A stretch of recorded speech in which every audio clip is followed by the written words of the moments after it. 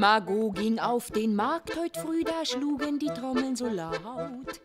Sie kaufte Fleisch und Sellerie und fand den Fleischer ergraut, mit Haut und Haar ergraut. Das Fleisch macht 20 Franc.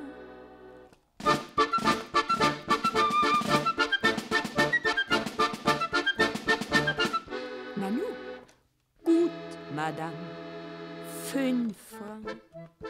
Ähm. Margot ging heut zur Hauswirtin, da rollte der Zapfenstreich. Darf ich fragen, was ich schuldig bin? Da wurde die Wirtin bleich, so bleich wie eine Leich. Die Miete macht 20 Franc.